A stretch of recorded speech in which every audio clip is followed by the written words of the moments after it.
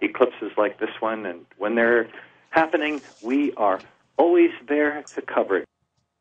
Hey YouTube, it's GV Loan Guy.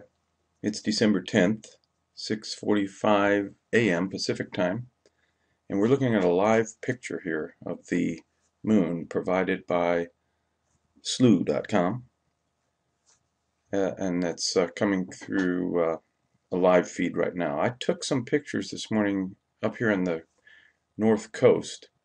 Went down to the beach this morning. Got one picture, but it's kind of not very exciting. Mostly we were pretty fogged in. So I came back here to see what uh, what was online and just put a little pretty picture of the moon up there. But anyway, this is a live shot. We're looks like we're coming out of it now. Starting to get a little bit light on the uh, on the left edge. That's it, folks. Not a whole lot going on here today.